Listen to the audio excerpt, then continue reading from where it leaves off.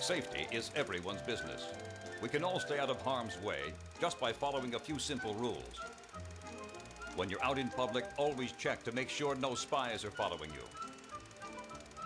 If you find a spider on your shirt, roll. Roll on the ground. Spiders are icky. And if you lose a pants leg, call home right away so your friends won't beat you up for looking like a dork. Don't let your parents drive backwards in the rain.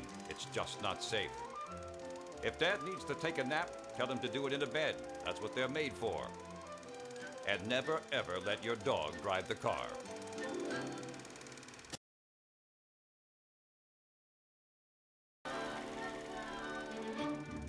Can you imagine a world without dirt? It seems like dirt is everywhere. Chances are there's dirt somewhere underneath you right now. Many things grow in dirt, like carrots. Carrots are good to eat, but you should never eat dirt. It doesn't taste very good and you might get dirt on your uvula. Dirt is dirty, so if it gets on you, wash it off right away. Rocks are dirty because they're found in the dirt and they have dirt on them. Some people like to study rocks. Whatever. But where does dirt come from? Scientists have been trying to answer this question for thousands of years. Most researchers now believe that dirt is actually nothing more than dried up mud. When mud dries up, it becomes dirt. And when dirt gets wet, it becomes mud again. So which came first, dirt or mud? You might as well ask which came first, water or ice cubes. It remains one of the mysteries of the universe.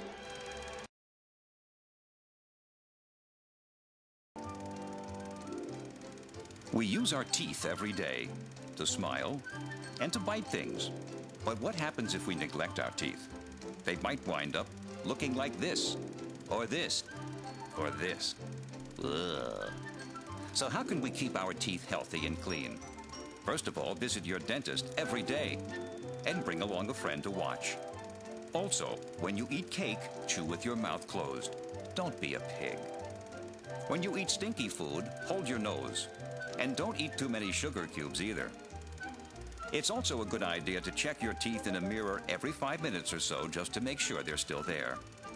And most importantly, learn the proper way to brush. A lot of kids try to brush their teeth without actually putting the toothbrush inside their mouths, like these kids. Silly.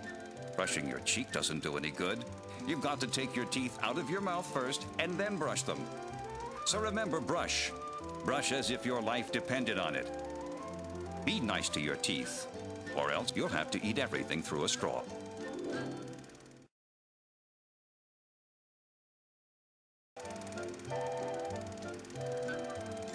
What are manners?